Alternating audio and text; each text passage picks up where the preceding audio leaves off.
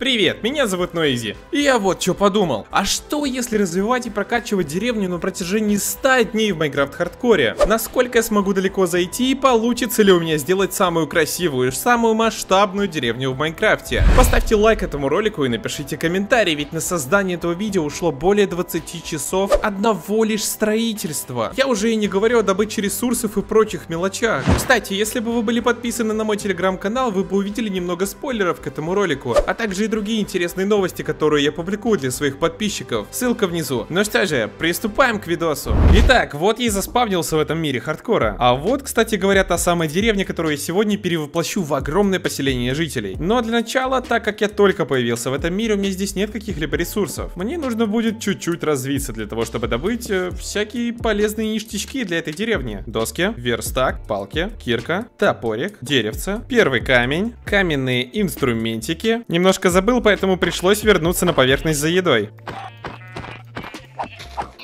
А вот и, кстати, моя первая шахта. Надеюсь, тут не будет слишком много мобов, потому что у меня еще нет брони. Первым делом добываем уголек. Он мне пригодится для того, чтобы пожарить пищу. А заодно полстаков килов. Еще уголечек. Ну и, конечно же, мне следовало добыть как можно больше железка. Йоу, мистер зомби, здравствуйте. Переплавив все железо, я, естественно, решил создать сет брони для того, чтобы передвигаться по шахте было более сейвовее. Далее последовала железная кирка и, естественно, железный меч. Еще одни алмазики были мною обнаружены, и честно, на алмазы пока что вообще не везло повезло. Три штуки за 15 минут нашел. Ну и наконец-то, приличная залежа алмазов. Надеюсь, тут будет больше двух. Да, по крайней мере, тут есть уже... Ох ты! Ничего себе, по-моему, тут было целых 6 алмазов. Такой расклад мне нравится. Ух ты, еще один, чуть не пропустил. Еще один! Офигеть, какая залежа. Чуваки, это джекпот. Вот такое вот количество ресурсов мне удалось добыть. Я думаю, в целом этого мне хватит для того, чтобы преображать эту деревню. По крайней мере, все эти ресурсы были чисто расходными лишь для того, чтобы создавать инструменты, добывать еще больше ресурсов для того, чтобы преображать эту деревню. Ну что ж, давайте приступим. Неподалеку мне удалось найти мангровые болота, и здесь я планировал добывать дерево. И отправился рубить это самое мангровое дерево. Заодно в придачу я собирал еще и его корни. И красивое дерево, чтобы оно служило, скажем так, ориентиром центра моего поселения. Ну или, проще говоря,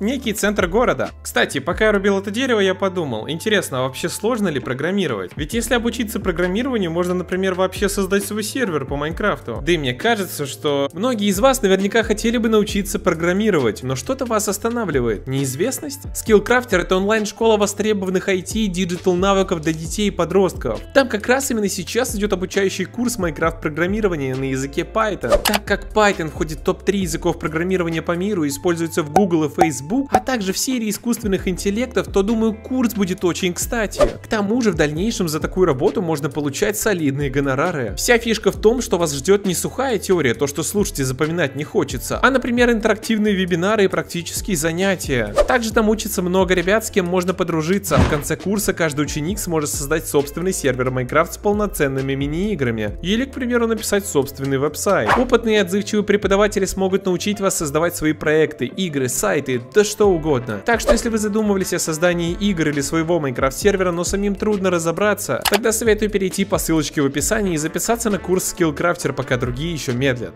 Я отправил на переплавку булыжник и погнал строить центр города. Для этой самой постройки мне нужно было удалить кое-что уже существующее в этой деревне, поэтому я принялся немножко почищать территорию. Далее я решил немножко разровнять территорию для того, чтобы это дерево смотрелось более гармонично и более на ровной поверхности. Ну и примерно вот такую территорию я разровнял для своего центра города. Пришлось, конечно, пожертвовать одним домом жителей, но я думаю ничего страшного.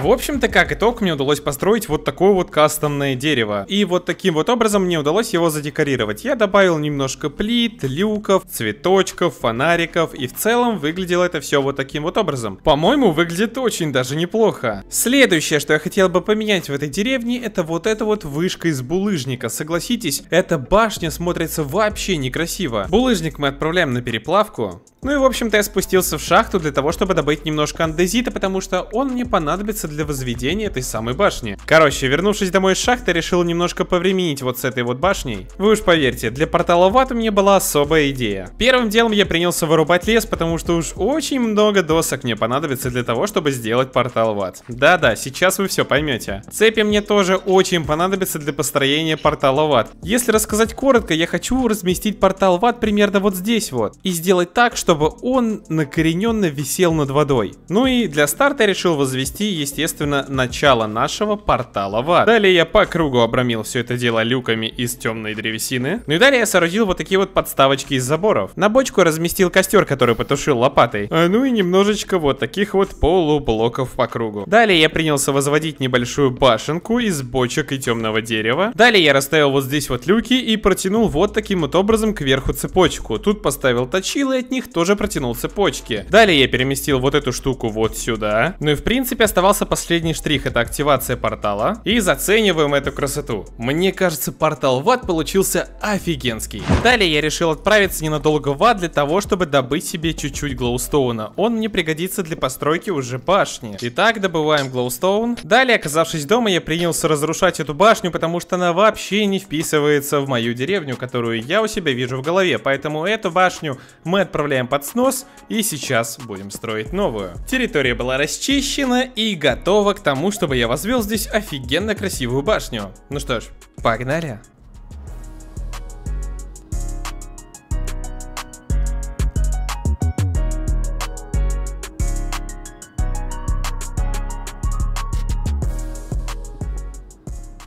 Ну и в общем-то вот такую вот башенку я смог построить. Она небольшая, она простая, но выглядит эффектно. После того, как я соорудил вот эту башню и этот замечательнейший портал в ад, я решил отправиться на поиски пропитания, потому что уж очень мало у меня было еды. И мне срочно нужно было где-то добыть себе немножечко мяса. Далее я отправил всю эту еду на обжарку и принялся ждать, когда она наконец-то приготовится. Ну и доплавив еду, я направился к ближайшим мангровым болотам для того, чтобы добыть там новые блоки. В мангровые болота я пришел, чтобы добыть вот эти вот самые блоки грязи, ведь из них можно будет сделать новые крутые кирпичи. Также я еще добыл немножечко мангрового дерева для того, чтобы использовать его в постройке домов в деревне жителей, ведь оно тоже выглядит великолепно. Поэтому прямо сейчас пойдут под снос вот этот, этот, этот и этот дома жителей.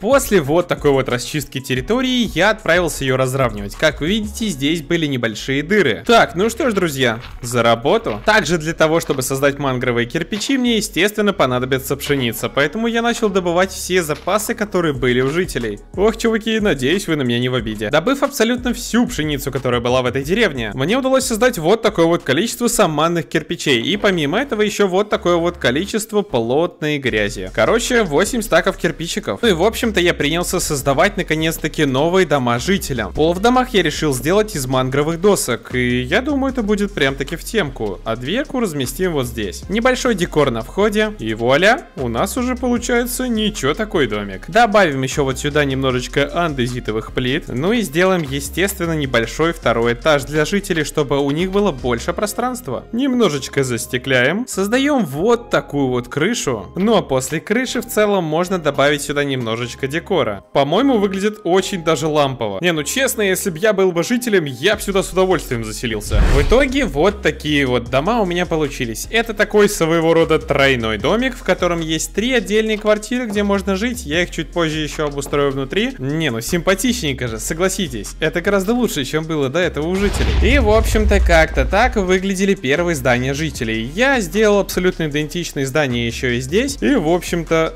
вот так вот выглядели дома уже для целых шести жителей, и они уже начали активно заселяться и плодиться. Деревня процветала, что могу сказать. Этому пацану вообще все нравится, он просто во все дома ходит, гуляет, кайфует.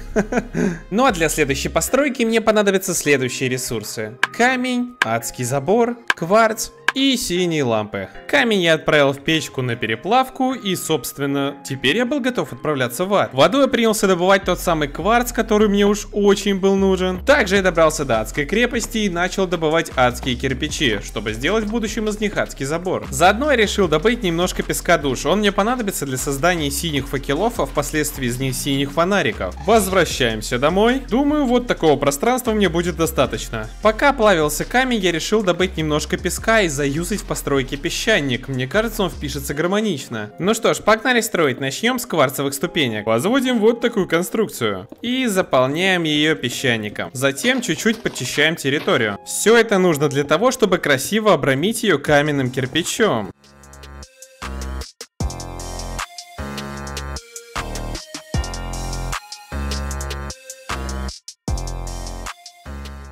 Ну и что же, постройка была практически завершена. Осталось добавить последние штрихи, и я вам ее показываю. Вы готовы лицезреть то, что я создал? Это вот такой вот рыцарь, который находится в моей деревне, и он будет, я не знаю, охранять жителей, жители могут ему поклоняться. Я не знаю, честно, что они будут делать с ним, но это, мне кажется, замечательный элемент декора. Не, ну серьезно, вы посмотрите, как он сюда клево вписался. Следующая постройка будет вот здесь. Я хочу тут сделать плавненький такой мост, который который будет вести вот на эту сторону. И для этого мне понадобятся вот такие ресурсы. Мост, я думаю, сделать шириной в три блока. Размещаем вот так вот мангровое дерево, обрамляем его люками и делаем его неотесанным. А здесь потихонечку начинаем возводить уже сам мост. Честно, могу сказать, что строительство такого моста давалось мне почему-то очень даже нелегко, а наоборот сложно, но в целом вроде как получалось уже неплохо. Здесь создаем идентичную конструкцию. Здесь все обрамляем табличками. Ну и в итоге вот такой вот мост через реку у меня получился. Я думаю, весьма симпатично и заслуживает вашего лайка. Далее я решил немного так подпрокачать дома жителей, заменить доски вот на эти кирпичики, потому что эти кирпичики, господи, я их обожаю, они выглядят безумно стилево. Также добавил сюда немножко каменной кладки и задекорировал еще все это дело фонариками, и это стало смотреться гораздо свежее. Ну и в общем-то я немножко подпрокачал эти дома, как вы поняли. Сюда добавил камнерез для новой профессии жителя. В этом доме все абсолютно то же самое, только здесь находится у нас котел. И мне кажется, эти дома очень преобразились, особенно если взглянуть на этот мостик.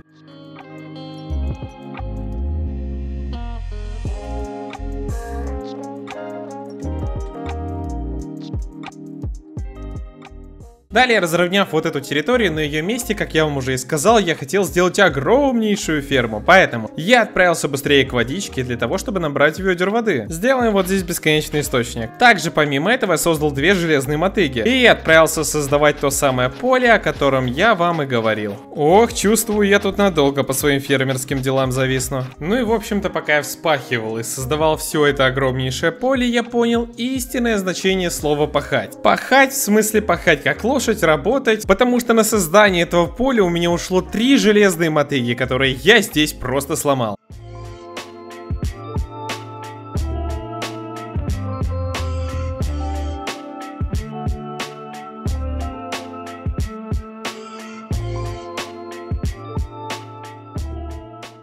Ну что же, в общем-то, спустя миллиард лет, наконец-таки я завершил постройку своего поля с урожаем. И на нем вы можете лицезреть вот такую вот красивейшую мельницу. Я думаю, она получилась действительно неплохая. Помимо этого, я успел еще все поле засеять э, урожаем, вообще абсолютно все поле. На это ушло нереальное количество времени. Я ждал, пока все это прорастет, собирал урожай, заново засеивал и делал так, чтобы я мог засеять абсолютно все это поле. И наконец-таки это поле готово. Отлично, я безумно рад этому. Далее на очереди у нас было построить целых два дома. Начать я планировал с этого, поэтому этот дом тоже у нас пошел под сноску. Территория была расчищена и здесь сейчас будет построен мною еще один новый домик для жителей. Для дома мне понадобятся вот такие вот ресурсы, которые я опять же заранее подготовил. Отступаем ровно 5 блоков и строим еще одну небольшую колонну. Вот здесь у нас будет идти лестница наверх. Мангровая дверка. Обрамляем все это дело сразу же люками, чтобы смотрелось интереснее. Ставим темный забор, а на него люки. В итоге я решил сделать вот так. Расставляем здесь заборчик.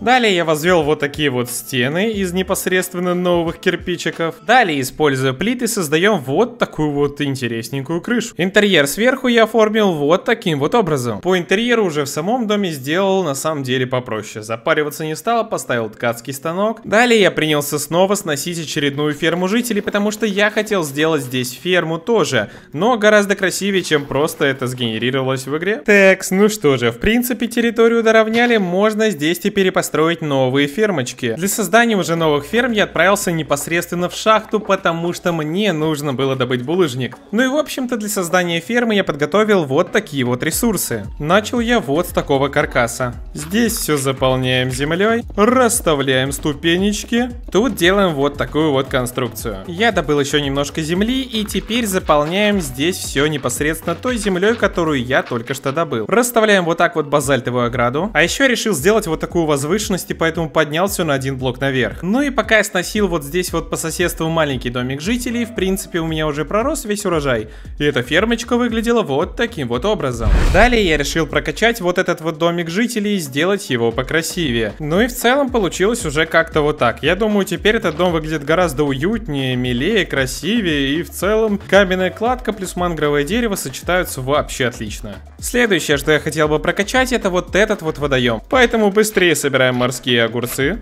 Также добываем немножко кораллов. Также не помешает собрать немножко тростника. Далее я выпустил в этот водоем рыбок, пускай плавают и наполняют его своим присутствием. Посмотрите, как уже ожило это озеро. Ну что же, по-моему, теперь это озеро выглядит гораздо уютнее. Кстати, если заметили, я добавил вот такие вот прикольные фонарики. Ну и в общем-то под снос пошли вот эти вот два дома жителей. Для следующей постройки, которая будет располагаться прям таки вот здесь, мне понадобятся вот такие вот ресурсы, которые я снова бегал и подготавливал. И наконец-то я их подготовил. Для начала вырисовываем вот такую вот конструкцию. Далее вот таким вот образом я на один уровень вверх поднимаю ступеньки. Вторая ступенька после вот этих двух блоков. Ну и в итоге я создал вот такого вот, не знаю как его назвать, давайте, это будет Олег.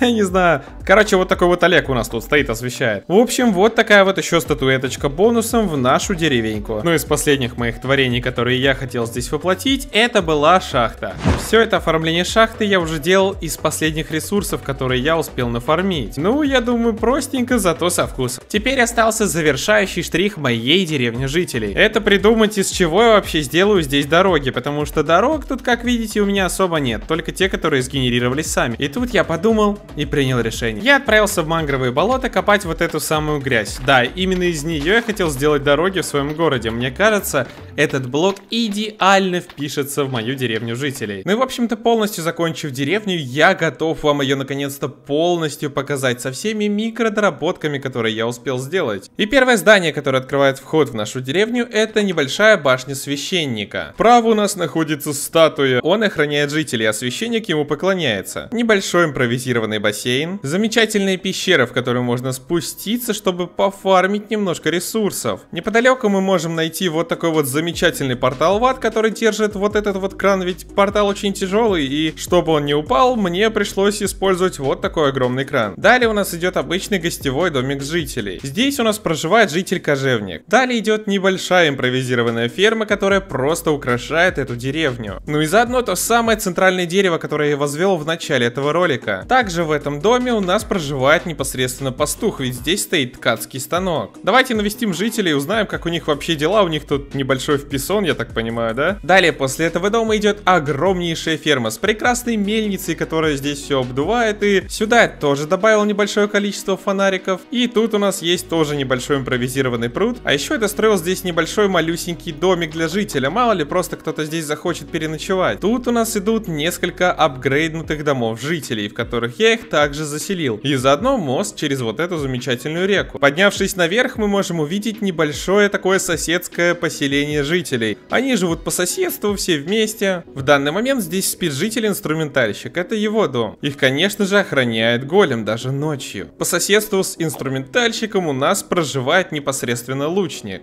Ну а рядом с лучником сладко спит житель-библиотекарь, который проживает в доме слева от него. Здесь у нас спит житель-мясник, тут отдыхает бронник, и кстати у него самое элитное помещение, потому что у него есть картина. Ну а неподалеку от бронника у нас должен был обосноваться картограф, видимо, он вышел прогуляться. Небольшое деревце, которое также украшает нашу деревню. Ну и, в общем-то, как-то так выглядит все это строение. Деревня получилась действительно на ура. Мне кажется, она выглядит просто невероятно. Это получилась очень глобальная и мощная постройка. Если вам понравилось это видео, друзья, обязательно поставьте лайк этому ролику. Ну не забудьте написать в комментариях, как вам эта деревня. Я очень старался, пока я создавал ее, и я надеюсь, у меня получилось достойно. Спасибо за просмотр, ребятки. Еще увидимся.